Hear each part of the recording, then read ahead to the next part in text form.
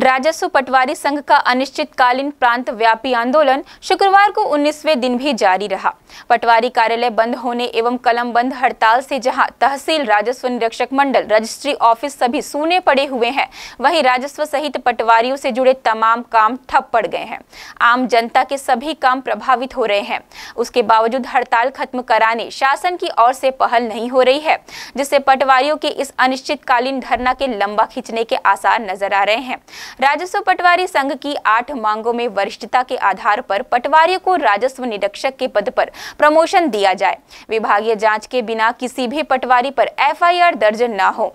महँगाई और स्टेशनरी के लिए हर महीने भत्ता दिया जाए। नक्सल प्रभावित क्षेत्रों में पटवारियों को भी नक्सल भत्ता दिया जाए। मुख्यालय निवास की बाध्यता समाप्त हो। अतिरिक्त हल्के के प्रभार के लिए पटवारियों को अतिरिक्त राशि भत्ते के रूप में दिया जाए और वेतन विसंगतियों को दूर करने की मांग शामिल है। आठ सूत्री मांगे हैं हमारी। मुख्य रूप से उसमें शामिल है कि हम लोग का जो ग्रेड पे है वो 2800 किया जाए, जो कि हमारे काम के अकॉर्डिंग बिल्कुल सही रहेगा, क्योंकि अभी हमको 2400 ग्रेड पे दिया जाता है, जबकि हमको 24 फोर इंटू सेवन काम करना पड़ता है। तो वे एक मांग ये है कि अट्ठाईस सौ हमारा ग्रेड पे किया जाए दूसरी मांग है कि वरिष्ठता के आधार पर पदोन्नति किया जाए। अभी सीधी भर्ती में आर की नियुक्ति कर दी जाती है, जबकि हमारे इतने सीनियर्स जो बहुत ज़्यादा एक्सपीरियंस है काम में, उनके द्वारा वो भी अभी पटवारी के पद पे काम कर रहे हैं, जबकि नई भर्ती में जिनको बिल्कुल भी एक्सपीरियंस नहीं, वो डायरेक्ट आ रहे उनके ऊपर बन के आ जाएँगे। तो उनका एक्सपीरियंस जो है बहुत अच्छा है तो हमारे विभाग के लिए भी बहुत अच्छा होगा वो।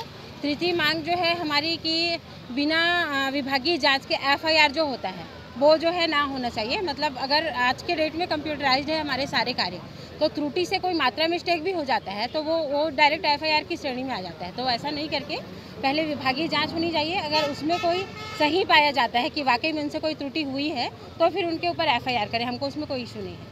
और उसके अलावा है, मुख्यालय निवास की जो बाध्यता है तो आज के डेट में हमारे पास मुख्यालय निवास के लिए प्रॉपर गाँव में वो सुविधाएँ नहीं होती। जैसे हम लोग महिला पटवारी हैं तो हमको बहुत सारी चीज़ें फेस करनी पड़ती हैं। प्लस बच्चों को भी देखना बहुत सारी इशूज़ हैं। तो वो मुख्यालय निवास की बाध्यता जो है वो समाप्त किया जाए।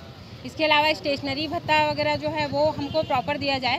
हमको संसाधन नहीं दिया जाता है। ऑनलाइन हम सारे काम करते हैं, लेकिन हमारे पास कोई भी ऐसे प्रॉपर संसाधन नहीं है। तो ऑनलाइन हम कैसे करेगा ये शासन की ही योजना है कि सारे हमारे दस्तावेजों को ऑनलाइन कर दिया गया है। लेकिन उसके एवज में हमको ना लैपटॉप दिया गया है, ना प्रिंटर दिया गया है, ना ही नेट भत्ता प्रदान किया जाता है। तो वो काम कैसे करें हम? तो वो एक चीज़ें हैं और उसके अलावा हमारे जो अतिरिक्त हल्के जो हैं, उसको हमको सिर्फ़ ढाई सौ रुपये मानदेय दिया जाता है।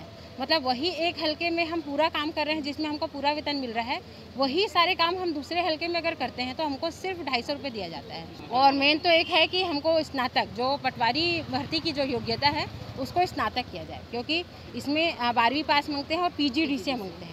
तो पीजीडी से बारहवीं पास होने के बाद डायरेक्ट तो निकल लेंगे आप? स्नातक होने के बाद ही पीजीडी से करते हैं। तो वो जो है एक बीच का जो खाई है, वो ख़त्म करते हुए आप सीधे स्नातक करिए, उसकी योग्यता, उसके अकॉर्डिंग हमारा ग्रेड पे भी अट्ठाईस सौ रुपये होगा ये मुख्य मांग है। राजस्व पटवारी संघ छत्तीसगढ़ विगत पंद्रह मई से अपनी आठ सूत्री मांगों को लेकर हड़ताल पर है। अनिश्चितकालीन हड़ताल हमारा जारी है। हमारी जो मांगे हैं, वरिष्ठता के आधार पर पदोन्नति है।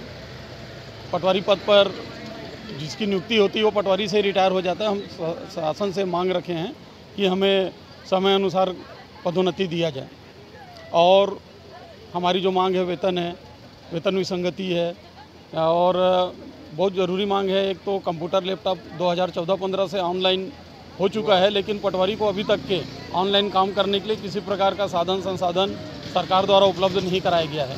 और अतिरिक्त हल्कों का जो भत्ता है, ढाई मिलता है। हम चाहते हैं कि 50 परसेंट वेतन का अतिरिक्त भत्ता दिया जाए और बिना विभागीय जाँच किए किसी प्रकार के पटवारियों को प्रताड़ित करने की नीयत से एफआईआर दर्ज ना किया जाए। मांगे पूरी नहीं हुई तो हमारी जैसा प्रांतीय निर्देश हमें प्राप्त होगा।